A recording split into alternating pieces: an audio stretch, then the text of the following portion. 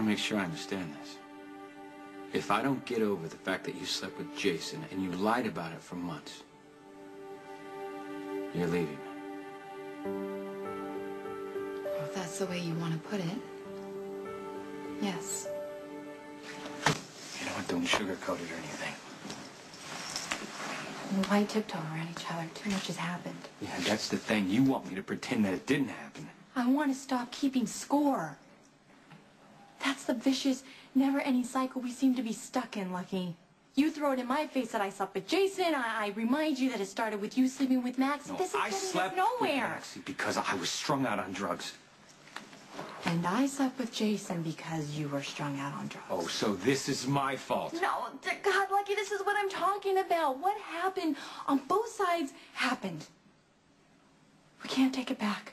We can't change anything. I am tired of defending my decision not to tell you about Jason, but more so, I am so tired of having the same fight. It's hurting us. And this constant bitterness is eventually going to hurt our children too. And I'm not going to do that to them.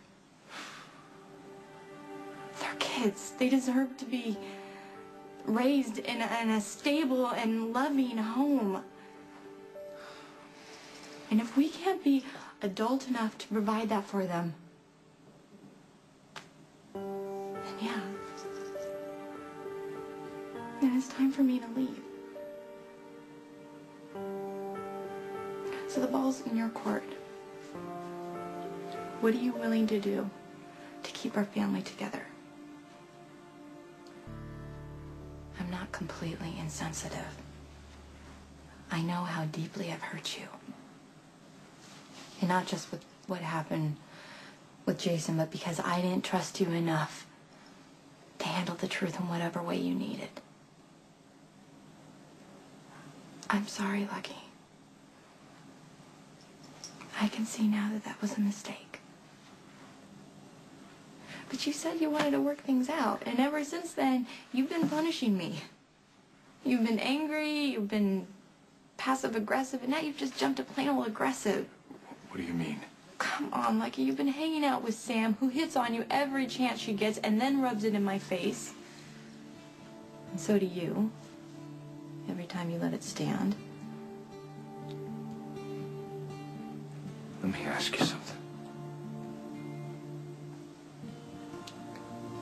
If I slept with Sam, would it matter? Or would you just take the chance to go back to Jason?